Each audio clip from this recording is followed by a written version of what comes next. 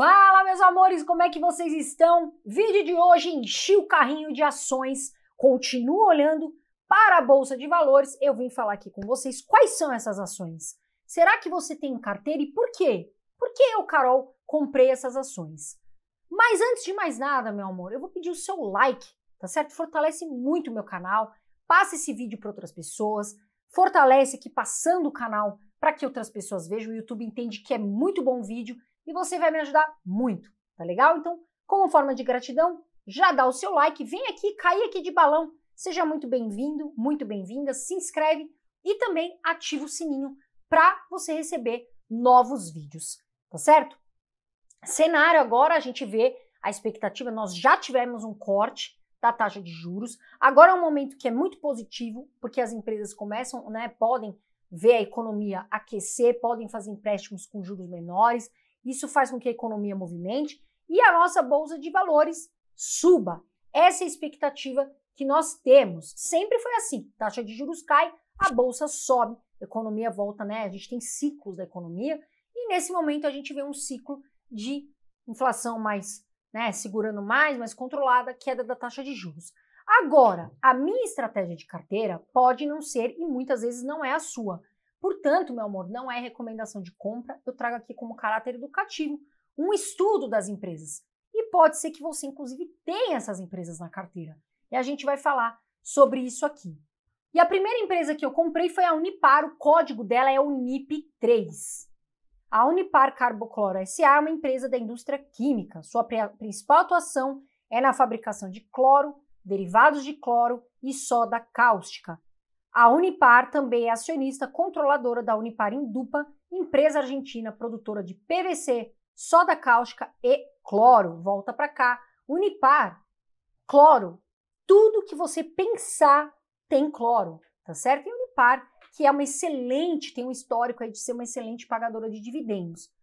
Mostra para mim, Renanzinho, põe na tela alguns fundamentos importantes. Olha lá, Unipar, hoje, né, a empresa custa aí uma ação R$ 74,79, o PL da empresa em 6,86, ou seja, você demoraria aproximadamente seis anos para recuperar o seu investimento que você fez. O PVP está acima de 1, está 3,04, mostrando sim que está cara a empresa nesse momento, e o dividendo de alto nos últimos 12 meses em 14,45, volta para cá. Mas, Carol, por que, que você comprou Unipar se está cara? Veja, a Unipar é uma empresa que paga ótimos dividendos. Na minha estratégia de carteira, nesse momento, eu estou equilibrando e estou comprando mais de Unipar. Independente se está caro ou barato, eu faço o quê? Um ajuste, um rebalanceamento da minha carteira. E nesse momento, eu gosto da Unipar, vejo ela como uma boa pagadora de dividendos, inclusive uma das queridinhas da minha carteira. Vamos seguir lá embaixo? Vamos dar uma olhada nos fundamentos, Rei. Mantém para mim na tela o que a gente vê? A margem líquida, o que ela põe de dinheiro no bolso mesmo, acima de 10%, em 16,30%. Liquidez corrente é o caixa que a empresa tem para honrar. Dívidas de curto prazo, 12 meses, que é importante. Acima de 1 aqui, ó, 2,14. Dívida líquida sobre o patrimônio, 0,01. Equilibradíssimas dívidas. Dívida líquida sobre EBITDA também mostrando que a empresa está equilibrada, 0,01. E a gente vê o ROI aí também 44,27 acima de 10%, retorno bom para os acionistas. Volta para cá, ROI, retorno que eu tenho. Eu estou investindo no Unipar. Eu quero ter retorno, eu não vou investir em algo que não tem. Então, o ROI acima de 10% para mim, excelente, a empresa batendo um bom ROI. E aí, desce um pouquinho, Rei, o que a gente vê do dividendo? Olha lá o histórico. O médio, em 5 anos, 8,96%. Excelente. O atual, 14,45%. E agora, nessa próxima tela, a gente vê, coloca para mim a receita e lucro. Veja, a empresa tem receita crescente, que é muito importante, e lucro líquido também positivo. Ou seja, volta a empresa que tem lucro, tem receita, ou seja, põe dinheiro no bolso e dívida equilibrada. Então, comprei a Unipar. Agora vamos para a segunda empresa que eu comprei, que é ela Fleury. O Grupo Fleury é uma das empresas mais tradicionais do país no setor de medicina diagnóstica, adquirindo o título de líder do mercado em seu ramo. efetua em média 75 milhões de exames por ano e cerca de 5 milhões de exames de imagem. Com foco na medicina diagnóstica, a empresa se volta para o setor de prevenção de doenças, investindo alto em tecnologia para satisfazer a demanda. Volta para mim. Fleury, eu tenho na carteira, estava caindo, teve uma desvalorização, muita gente quis vender. Ah, não acredito mais no Fleury, vou vender. Eu não vejo Fleury agora, eu vejo Fleury no futuro. A gente sabe que a Fleury fez a aquisição do Hermes Pardini, vem se mostrando, na minha opinião, vai ter um longo prazo muito bom com isso, vai mostrar resultado com essa fusão, tá certa, completa. E é um baita grupo. Quem não conhece o grupo Fleury, tem qualidade, né? Tem poder aquisitivo alto, saúde é uma área que muitas pessoas, a gente está vendo expectativa de, de vida subir, e isso favorece o setor de tecnologia. Então, por isso eu investi na Fleury, eu tenho carteira. Carol, mas está caindo muito, você está tá, tá apanhando, né? Está apanhando na carteira, mas a Fleury, para mim, é uma empresa belíssima para o longo prazo, tá certo, pessoal? E é por isso que eu comprei agora. Eu quero, inclusive, eu vou aproveitar. Para mim é um momento que eu vou aproveitar. Eu quero, inclusive, botar essa notícia na tela, Rê. Lucro do Fleury avança 5,6% no segundo TRI, a 74,4 milhões no primeiro balanço pós-Pardini. O grupo praticamente dobrou o desempenho no segmento B2B e mostrou demanda cada vez menor por exames de Covid, volta para mim.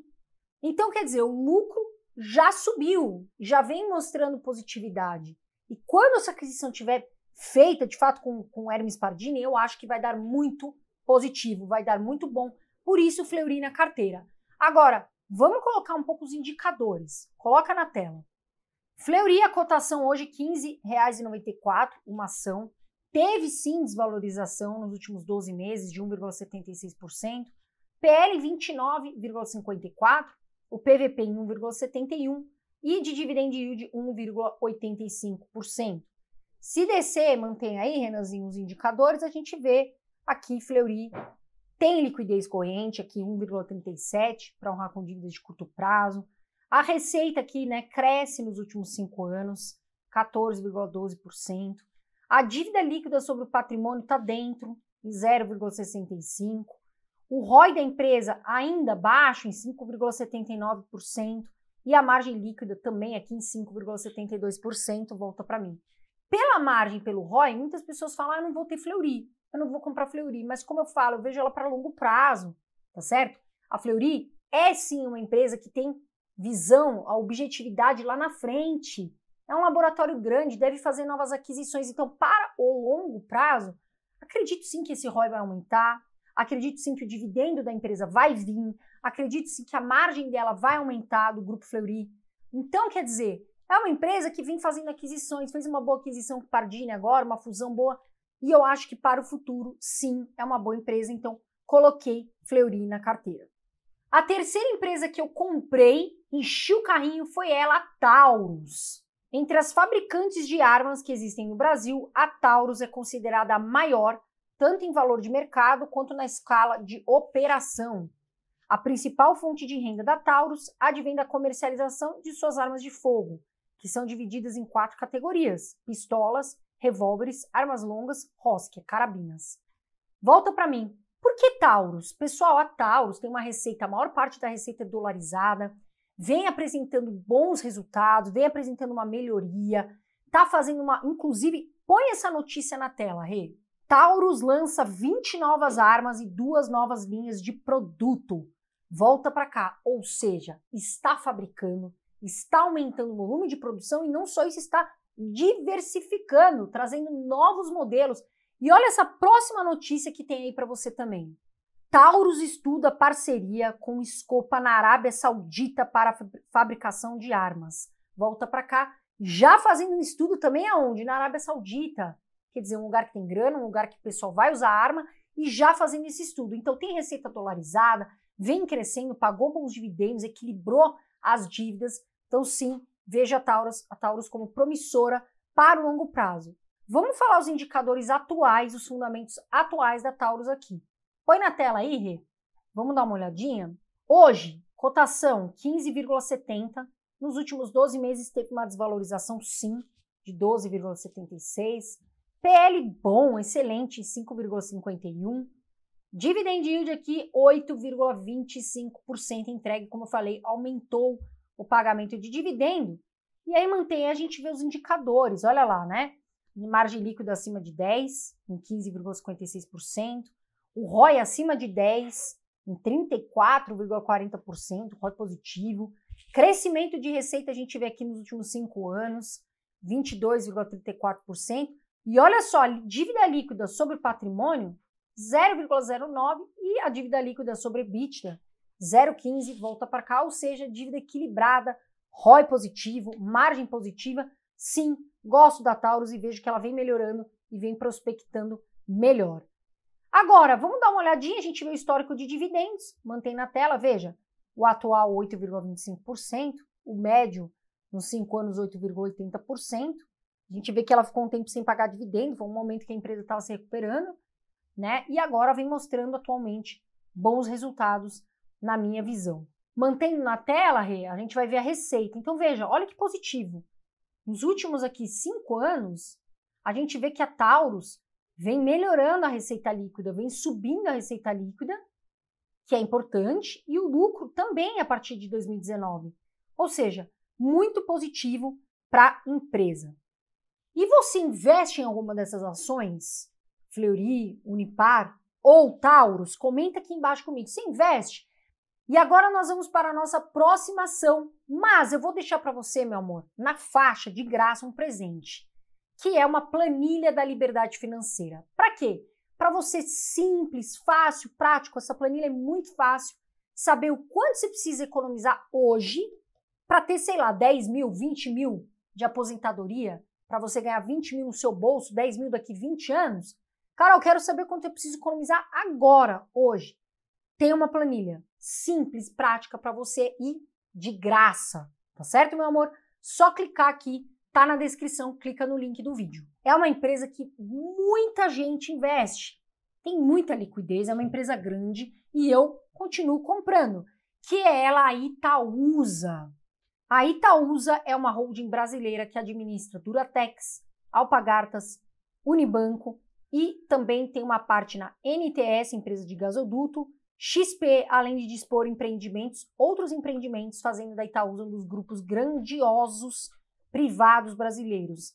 Vale ressaltar que, por ser controladora do Itaú, consequentemente a empresa possui grande parte na XP Investimentos Volta para mim.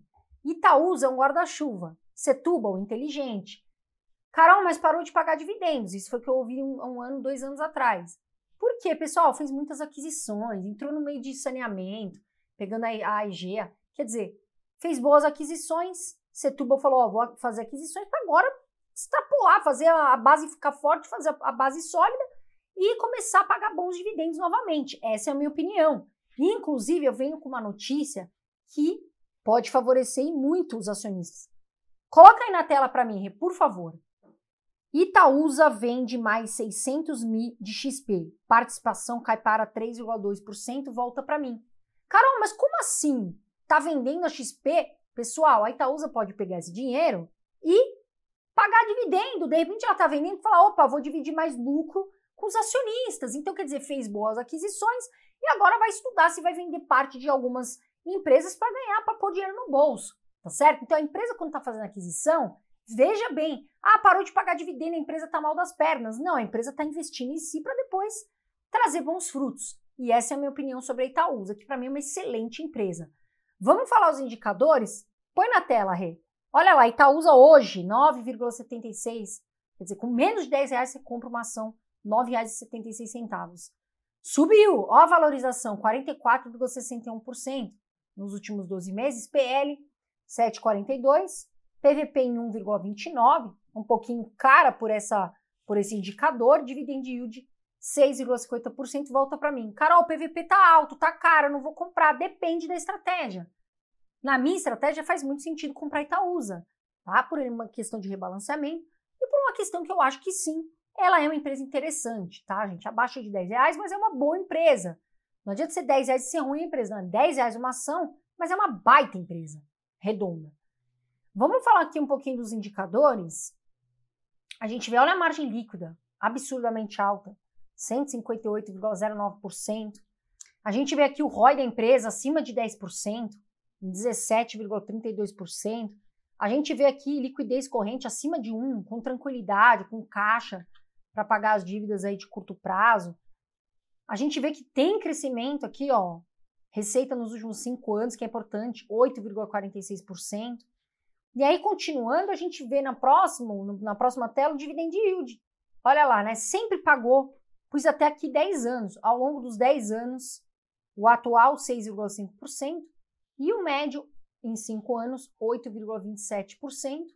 E se a gente olhar agora receita e lucro, veja, a Itaúsa tem receita crescente, tá com uma receita positiva, o lucro também é positivo.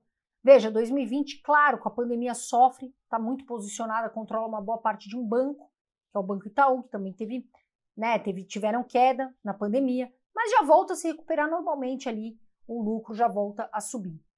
E agora eu quero saber de você. Vamos fazer o seguinte, Ana. Você investe na Itaúsa? É comentar. Comenta aqui. Eu sou curiosa, porque tem gente que investe, tem gente que não investe. Você investe na Itaúsa e qual a sua opinião? O que, que você acha? Itaúsa tá valendo a pena, não tá? Comenta aqui embaixo, a gente só tem essa pergunta no vídeo hoje. Você investe na Itaúsa? Comenta aqui embaixo, eu sempre falo, meu amor, investe. Quem investe, o futuro agradece. Eu sempre vou falar isso. Voa Brasil, vai fazer muito sentido no seu futuro. Um beijo de luz, fiquem com Deus e até o próximo vídeo.